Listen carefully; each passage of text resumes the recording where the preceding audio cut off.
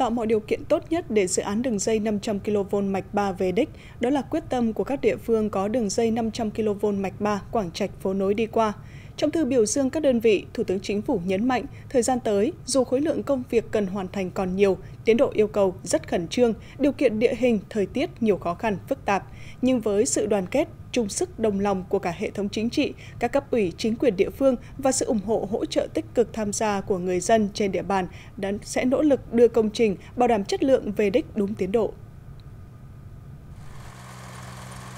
Việc sớm bàn giao mặt bằng thi công là một trong những mấu chốt góp phần cho tiến độ dự án này bảo đảm tiến độ. Dù ngày 4 tháng 6 mới có công văn phê duyệt khung chính sách bồi thường hỗ trợ tái định cư ba dự án thành phần của dự án đường dây 500 kV mạch 3 từ Quảng Trạch đến phố nối. Nhưng với sự vào cuộc của hệ thống chính trị, công tác đền bù giải phóng mặt bằng đã đạt tiến độ đề ra.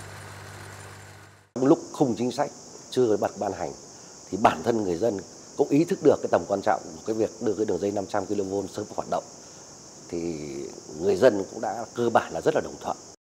Đây là dự án trọng điểm quốc gia, tiến độ thực hiện gấp rút. Tuy nhiên, các dự án này không có cơ chế đặc thù riêng nên vẫn phải tuân thủ theo đúng các quy trình, thủ tục và các quy định của pháp luật có liên quan về đầu tư xây dựng cơ bản. Tại Thanh Hóa, ngay khi có chủ trương đầu tư, địa phương đã huy động cả hệ thống chính trị của tỉnh trong công tác tuyên truyền và vận động nhân dân ủng hộ dự án. Từ đó tạo được sự đồng thuận của nhân dân, giải quyết các vướng mắc và ưu tiên thực hiện dự án. Yêu cầu là tất cả các cái đề xuất của địa phương lên đến các ngành và để ờ, trình ủy ban dân tỉnh là chúng tôi không quá 3 ngày. À, thứ hai là 15 ngày thì chúng tôi đều phải giao ban. À, giao ban thì chúng tôi mời đại diện các ban dự án để những cái khó khăn vướng mắc à, phản ánh của địa phương thì có cả ban dự án để chúng tôi có cái cách mà tháo gỡ ngay để ra kết luận ngay tại cái cuộc họp để có thể uh, triển khai uh, thực hiện được.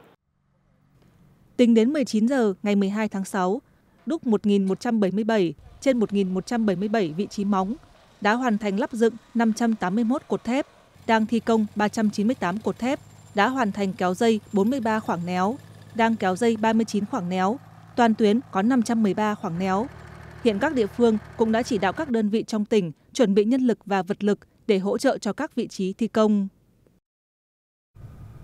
Thưa quý vị, hưởng ứng lời kêu gọi của Thủ tướng Chính phủ tại lễ phát động chương trình đăng ký hiến tặng mô tạng cho đi là còn mãi vào ngày 19 tháng 5 vừa qua và triển khai các hoạt động vận động hiến mô tạng, giác mạc và bộ phận cơ thể người đến mọi tầng lớp nhân dân trên khắp cả nước. Sáng nay ngày 13 tháng 6, Bệnh viện Mắt Hà Nội 2 đã tổ chức lễ ra mắt ngân hàng mô và tri hội vận động hiến mô bộ phận cơ thể người.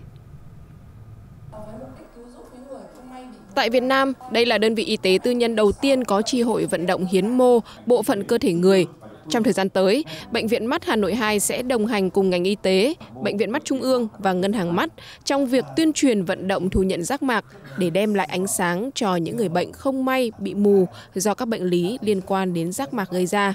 Dù phẫu thuật ghép rác mạc ở Việt Nam đạt trình độ tiên tiến hiện đại, đội ngũ phẫu thuật viên ngày càng đông đảo hơn, nhưng do nguồn rác mạc vô cùng khan hiếm, lượng hiến tặng rác mạc thời gian qua mới chỉ đáp ứng được một số lượng rất nhỏ so với nhu cầu thực tế. Vì vậy, hàng trăm nghìn bệnh nhân đang phải chấp nhận sống trong cảnh mù loà, chờ đợi vào nguồn rác mạc duy nhất từ người hiến sau khi qua đời. Cũng trong dịp này, Bệnh viện Mắt Hà Nội 2 cũng tổ chức lễ phát động đăng ký hiến tặng mô, tạng, giác mạc, bộ phận cơ thể người. Thưa quý vị, trước thực trạng các cảng cá bị xuống cấp, bồi lắng, tỉnh Hà Tĩnh hiện đang đầu tư xây dựng mới và nâng cấp hai cảng cá với nguồn vốn hơn 340 tỷ đồng, qua đó nhằm hoàn thiện hệ thống cảng cá, đáp ứng nhu cầu hậu cần nghề cá và góp phần phát triển sản xuất thủy sản. Những ngày này tại công trường cảng cá Cửa Nhượng, huyện Cẩm Xuyên, các nhà thầu đang huy động tối đa nhân lực máy móc để thi công các hạng mục chính. Khối lượng thi công đang đạt khoảng 40% giá trị hợp đồng. Tuy nhiên do đặc thù thi công cảng biển nên thường xuyên chịu ảnh hưởng bởi thủy triều và thời tiết. Để mà đảm bảo đúng tiến độ thì sắp tới để mua nước vào thì mình phải đẩy nhanh. Vì mình làm ở đấy là phụ thuộc vào thủy triều rất là nhiều. Nên à, mình phải tăng à, máy móc, thiết bị với là nhân lực cũng như con nước để làm đêm để đảm bảo tiến độ tăng cá để đảm bảo tiến độ cho công trình. Cái hạng mục cần phải ờ, hoàn thành trước mùa bão tức là khoảng trước tháng 9 đó là hạng mục bến cấp tàu, hạng mục tuyến đê chắn cát và tuyến kè cũng như là công tác ờ, nạo hụt luôn. Thì ờ, đến thời điểm hiện tại thì theo những đường gắn mà về phía chủ đầu tư cũng như đơn vị tư vấn và đơn vị giám sát lập lên thì cơ bản là đáp ứng tiến độ.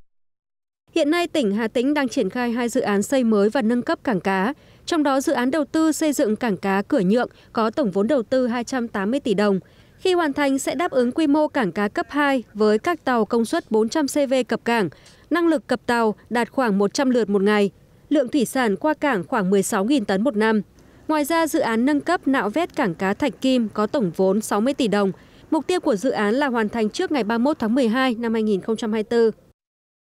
Giúp cho ờ, đơn vị sẽ và và các cơ quan chức năng sẽ giám sát tốt hơn các cái ờ, ờ, việc khai thác cũng như là hàng hóa lên cảng giúp truy xuất nguồn gốc thủy sản rõ ràng và qua đó thì cũng góp phần gỡ thẻ vàng của EC đối với thủy sản Việt Nam. Theo đánh giá, sau nhiều năm đưa vào khai thác, luồng lạch, khu neo đậu tại các cảng cá ở Hà Tĩnh đã bị bồi lắng nhiều, xuống cấp. Ngoài ra, không đáp ứng được yêu cầu về chống khai thác thủy hải sản trái phép. Khi hạ tầng nghề cá được nâng cấp, sẽ mang lại nhiều lợi ích thiết thực. Nhằm tăng giá trị cho cây trồng và hướng đến xây dựng thương hiệu, nhiều hộ dân người Trai ở xã Yamanong, huyện Chư Pá, tỉnh Gia Lai đã liên kết xây dựng tổ hợp tác trồng sầu riêng theo tiêu chuẩn Việt Gáp. Sự chuyển đổi này không chỉ là bước đi mới trong phát triển kinh tế địa phương mà còn là nỗ lực nâng cao chất lượng và giá trị sản phẩm, hướng đến việc xây dựng thương hiệu nông sản địa phương. Nhờ áp dụng đúng kỹ thuật và chăm sóc tỉ mỉ mà khu vườn sầu riêng này của anh Rơ Chamui cùng nhiều diện tích sầu riêng của 13 hộ dân người Gia Rai khác tại làng Phung sinh trưởng tốt, hứa hẹn mang lại năng suất cao. Hiện nay, toàn xã Iamonong có khoảng 80 ha sầu riêng và nhiều vườn đã cho thu hoạch với hiệu quả kinh tế cao. Từ khi ờ, theo mô hình ờ, sầu riêng Việt Gáp là tôi thấy là cách chăm bón nó phát triển hơn. Mình dùng những ờ, biện pháp và lại hữu cơ nó tốt cho môi trường này, à, nó không hại tới sức khỏe con người. Rồi sau này nữa là mình bán ra cái sản phẩm nó có giá trị hơn.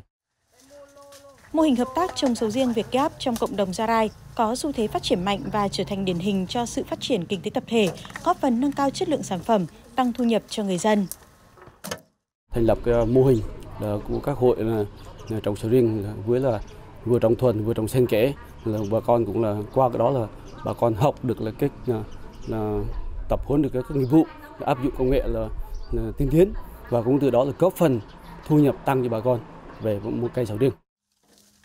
Theo Trung tâm Dịch vụ Nông nghiệp huyện Chư Pá, hiện địa phương này có khoảng 2.000 hecta cây ăn quả, trong đó có khoảng 200 hecta sầu riêng đạt chứng nhận Việt Gáp. Ưu tiên cho họ để tập huấn các kỹ thuật mới để chăm sóc cái sầu riêng nó đạt hiệu quả. Rồi cái à, rồi cũng vận động người ta tham gia các cái chuỗi giá trị và sắp tới thì chúng tôi cũng tiếp tục đề xuất huyện mở rộng cái diện tích này thông qua các cái nguồn kinh phí để nâng cái, cái chất lượng cây sầu riêng trên địa bàn huyện à, cao lơ hơn mà đầu ưu tiên đầu tư vào cho người địa phương. Việc áp dụng tiêu chuẩn Việt Gáp là tín hiệu rất đáng mừng trong sản xuất sầu riêng ở Gia Lai, thể hiện sự đổi mới tư duy của người dân tộc thiểu số tại chỗ. Mô hình này góp phần nâng cao chất lượng sản phẩm, từng bước khẳng định vị thế sầu riêng Gia Lai trên thị trường, mở rộng cơ hội tiếp cận thị trường quốc tế.